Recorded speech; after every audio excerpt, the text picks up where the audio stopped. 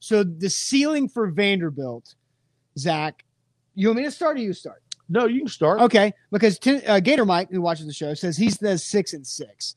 Uh, Jeff says ceiling is making a bowl game for Vandy, and Louis, who's a Vandy fan, says SEC champs.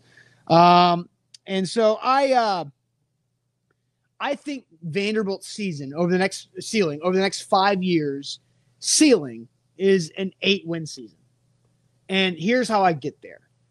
Vanderbilt needs to look at how James Franklin was so successful so quickly. I just pulled it up, right? Okay. Not, because he went nine and four, nine and four. right. His bowl last two win. years. He, he won bowl games. So eight and four regular season, and the ninth win came in the bowl. Games. Yeah, Music City Bowl. He went to three straight bowls, which is very impressive. Yes. Uh, lost lost the Liberty Bowl his first year. Second year won the Music City Bowl, and then third year won the BBVA Compass Bowl, which I've actually been to.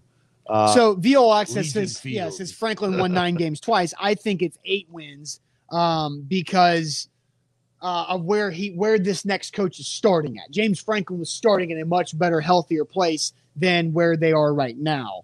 So why I think it's eight is because James Franklin scheduled beautifully. Right? You haven't pulled up still. Do you Yep. have the do you have the non-conference schedule yet, or no, you don't have that in front of you? So they scheduled like Presbyterian, Wake Forest, which is now pretty good, and some other uh, smaller group of five and Power Five programs to where they were able to go get nine wins in a season, including a bowl game, because they would go four and zero in the non-conference. Schedule the right way.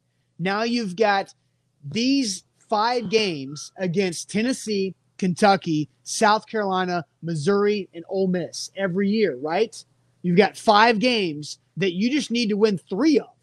If you win three of those games, now you're seven and five, and all you got to do is pull an upset.